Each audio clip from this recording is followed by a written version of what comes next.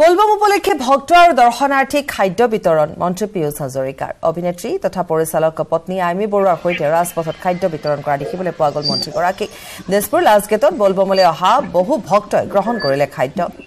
আইমী বৰুৱাক দেখিবলৈ পোৱা গৈছে মন্ত্ৰী পীয়ুষ হাজৰিকাক দেখিবলৈ পোৱা গৈছে। তেওঁলোকে এনেধৰণে ভোগ বনাই খিচিৰি বনাই ৰাইজক বিলাইছে।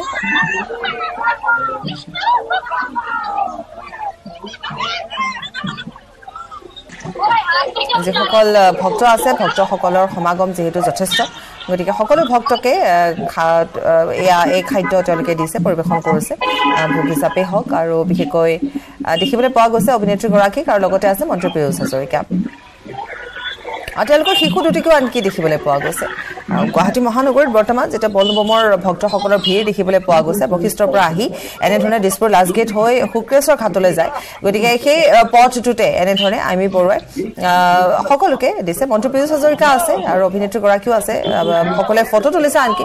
কাষতে অভিনেত্ৰীগৰাকীক পাই সকলোৱে চেলফি তুলিছে। মন্ত্ৰী পীযুষ হাজৰিকাকো কাষতে পাই চেলফি তুলিছে। আৰু তেওঁলোকৰ পুত্ৰ সন্তানটিও তেওঁলোকৰ সৈতে আছে। পানী আৰু খিচিৰি যোগান ধৰিছে।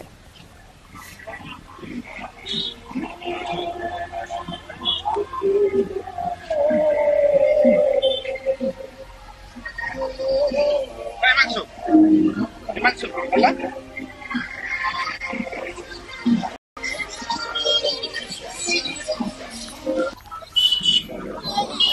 Google Pay for কলিয়াবৰত বলবমলৈ অহা ভক্তক নিজ হাতেৰে ভোগ বিতৰণ কৰিছে স্বাস্থ্যমন্ত্ৰী কেশৱ মহন্তই নিশা কলিয়াবৰৰ ঐতিহাসিক হাতীমূৰা দুৰ্গা মন্দিৰ আৰু শিৱ মন্দিৰত সেৱা ললে মন্ত্ৰীগৰাকীয়ে। হাজাৰ হাজাৰ বলবম যাত্ৰীৰ সমাগমেৰে উখল মাখল পৰিৱেশ কলিয়াবৰৰ হাতীমূৰা। বলবমৰ চতুৰ্থটো সপ্তাহত হাতীমূৰাত ভিৰ কৰিছে অগণন ভক্তই। নিশাৰে পৰা শিৱ ভক্তৰ নাম কীৰ্তনেৰে মুখৰিত হৈ পৰিছে হাতীমূৰা মন্দিৰ। এয়া মন্ত্ৰী কেশৱ মহন্তই এনেধৰণে খাদ্য বিতৰণ কৰিছে ভোগ বিতৰণ কৰিছে। নিশাৰ পৰা অহা ভক্তসকলক আৰু এক আধ্যাত্মিক পৰিৱেশে বিৰাজ কৰিছে আচলতে সৰ্বততে। কাৰণ বলবম উপলক্ষে এতিয়া ঠায়ে ঠায়ে এনেধৰণে ভক্তসকলক শিৱ ভক্তসকলক দেখিবলৈ পোৱা গৈছে। আৰু কোৱাই হয় যে বলবমত যিসকলে অংশ লয় যিসকল শিৱ ভক্ত তেওঁলোকক এনেধৰণে পানী বা খাদ্য যোগান ধৰা হয় বিভিন্নজনে যোগান ধৰে। গতিকে তাতো এক পুণ্য লাভ কৰে বা মনৰ শান্তি লাভ কৰে। গতিকে দুটাকৈ পৰিৱেশ আমি আপোনালোকক দেখুৱালোঁ। এয়া কেশৱ মহন্তই তেওঁলোকক খাদ্য বিতৰণ কৰা ইফালে অভিনেত্ৰী আইমী বৰুৱা তথা মন্ত্ৰী পীয়ুষ হাজৰিকাই ভোগ বিতৰণ কৰাও দেখিবলৈ পোৱা গৈছে। আৰু এক এনেধৰণৰ এটা পৰিৱেশ বৰ্তমান বিৰাজ কৰিছে।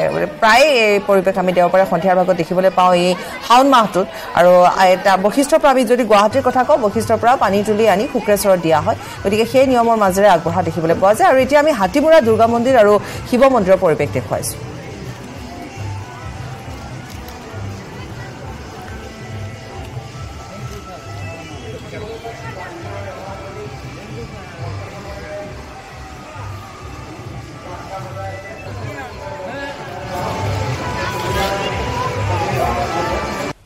ৰজা প্ৰমত্ত সিংহৰ দিনত ইয়াত এই মন্দিৰ স্থাপন হৈছিল। আৰু এই মন্দিৰত বলবমৰ সময়ত হাজাৰ হাজাৰ ভক্তপ্ৰাণ ব্যক্তি আহি ইয়াত পূজা অৰ্চনা আগবঢ়ায়। আৰু বৰলুইতৰ বুকুৰ পৰা পানী লৈ ইয়াত অৰ্পণ কৰে।